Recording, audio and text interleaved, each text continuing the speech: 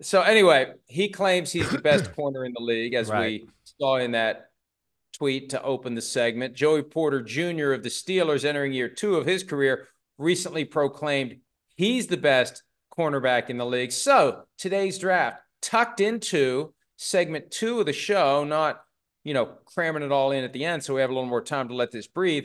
Today's draft, it's a pop-up draft Whoa. which means there may be one later, which means I've possibly forgotten the rest of the outline. But at least for now, pop up draft, best corners in the NFL go. Yeah, I, and, hey, there's some good ones out there right now. There, there really is. And Jaire Alexander, he he was one of those guys that I I think you know two years ago I might have said he's the best corner in football.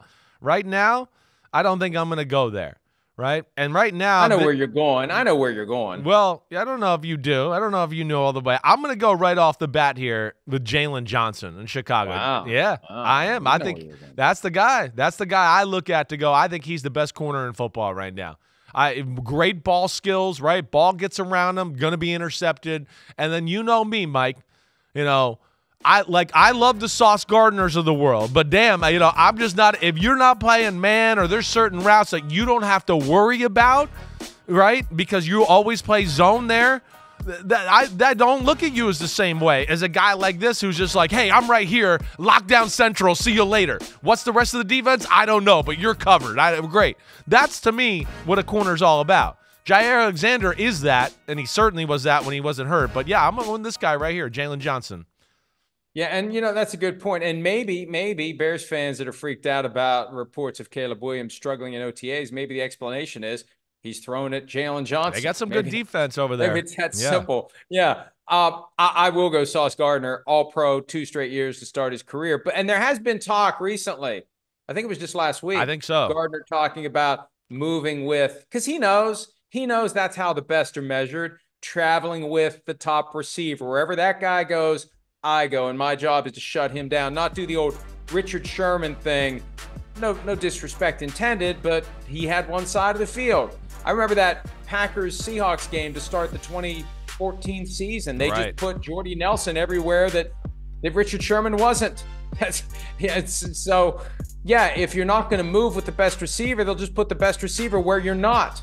Exactly. But he's still great. He is. There's no doubt. He is great. He really is. I'd like to see him take more of that role on, right? But yeah, doesn't travel, right? It's Seattle 3 a lot of the times. There's certain routes that he doesn't have to worry about, and that makes him look a little bit better, right? Some of these man to man corners would go, wait, I'd love not to have to cover the guy when he runs a shallow cross and runs across the formation, and I get to pass him off to somebody else, right? Where, like, you know, again, Jaylon Johnson, some of these other man to man corners of the world, they're going, wait, no, I, I have to cover that guy. Like, I'm responsible for him. And th- that's a different ballgame, in, in my opinion, when it comes to that. All right. Maybe not his best year last year, right? Little bit of a down year, but I'm I'm still taking this guy. I mean, if you give me three picks, I'm taking him, and that's Patrick Surtain.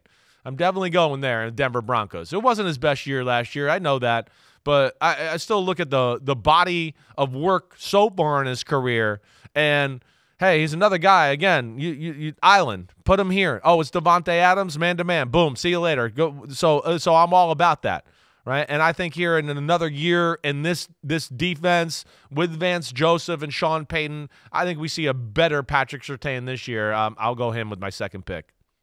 I I uh I agree, and you know, every once in a while there's trade chatter that pops up with him. I know. I don't know why. Yeah. I, I mean, I know why a team would want him, but I don't know why it lingers. I don't know why the. I think he almost got traded during the year last year, Mike. I, I, I mean, I know he almost got traded last year.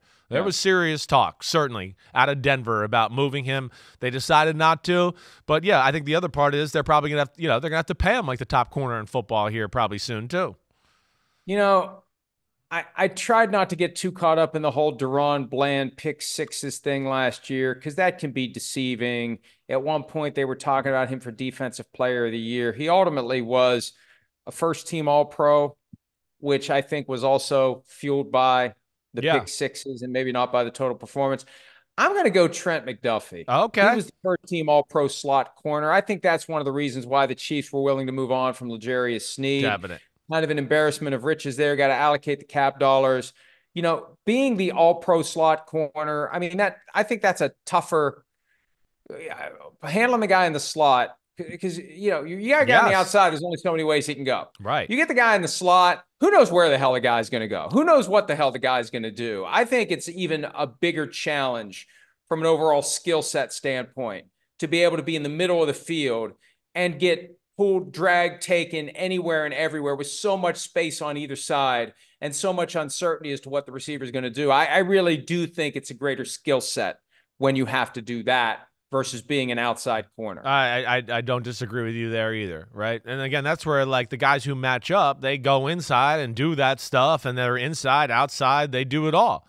But yeah, you know that that's almost a, another skill skill set in itself, right? And that's to me where you know I, I I love Trent McDuffie. Yeah, he can be on the outside and cover the big guys, but he's got the ability to cover the jitterbugs inside, let alone like hey, if you're going to get into tackling and all that type of stuff too, Trent McDuffie is no doubt one of the best tackling corners in football, if not the best. I mean, he's that damn good.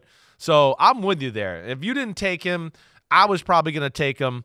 Uh, but that's a good pick by you, uh, nonetheless. I, I do like that. Man, this this is where it gets hard. There's there's you know you sit here and you go, man, there's some good corners right now, right? I mean, uh, DaRon Bland is damn good. To your point, I mean, he's damn good. And again, a guy that he gets put on an island a lot that I like. I mean, we know Trevon Diggs is damn good, right?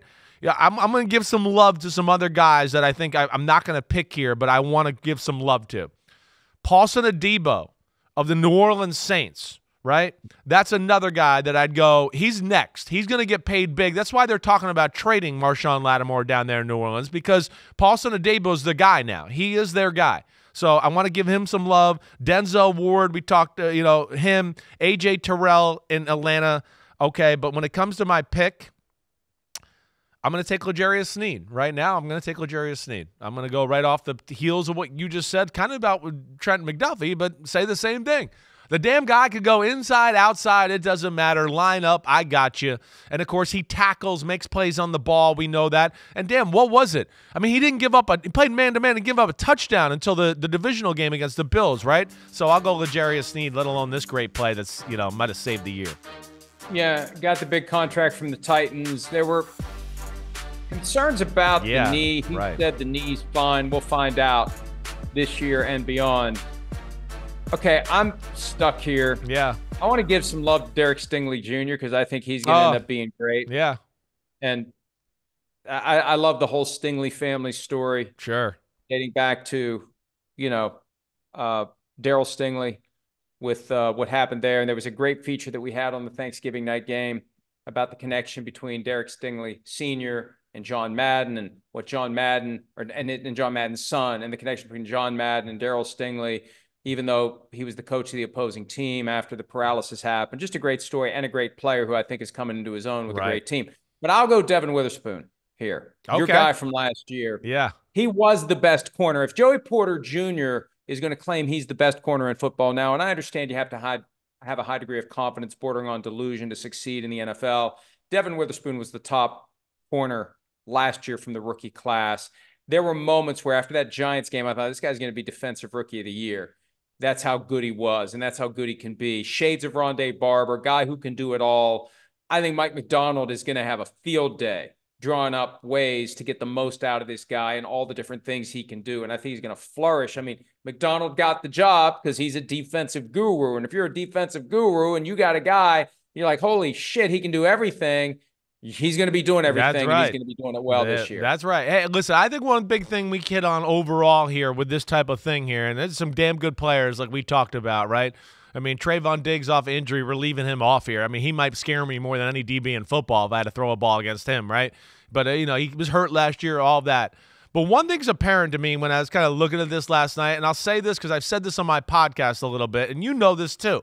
Like in the NFL right now, these some of these good offensive coordinators and offensive uh, teams, they're too good You you can't play zone in big moments of football right now. That to me would be the problem with the 49ers and what happens at the end of the game. The Chiefs can go, "No, we're going to play all these things and stop your run game and you're just going to lock them down on a big third down here and boom, McDuffie knocks it down on the blitz, right? At the end of the football, they can play man in big moments. Most of the defenses, the best defenses in football can lock you down in big moments. The Cleveland Browns. I mean, they got three corners that we could have added into this draft, really.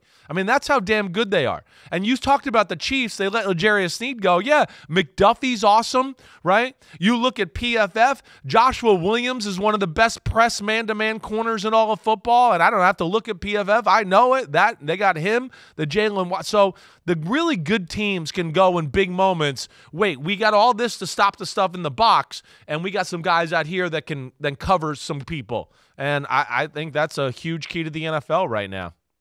We talk all the time about those receivers that are so good they keep defensive coordinators up at night. Great corners let defensive coordinators yeah. sleep like right, babies. Right. Right. Exactly. Because you know we don't need two guys. We just put this guy on that guy, and that guy is neutralized. And yes. that's the value. And that's why I'm amazed that the market for corners is where it is.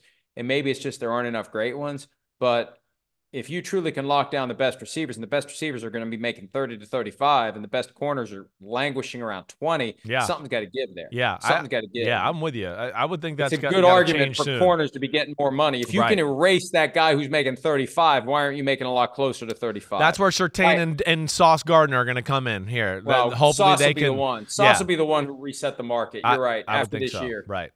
Unless the Jets screw it up, which the Jets never screw anything up, so that's not a problem. Hi, it's Mike Florio. Thanks for watching PFT on YouTube. Hit subscribe for the latest news and analysis from Pro Football Talk.